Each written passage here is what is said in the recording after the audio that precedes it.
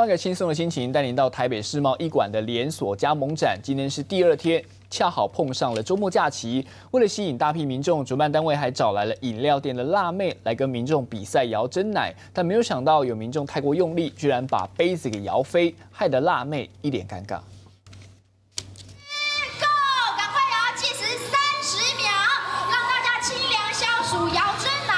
和比基尼辣妹双手绑在一起摇珍珠奶茶，机会难得。趁着台北世贸举办加盟展，民众抢着上台拼命的摇，摇出第一名就有一万块的加盟奖金。加油！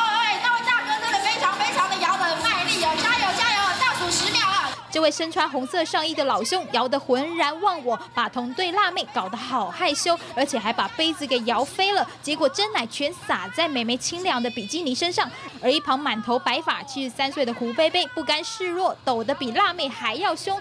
果然姜还是老的辣，得到了冠军。因为平常我有运动，有游泳，每天最少要游一千五百公尺，也已经退休了嘛，哈。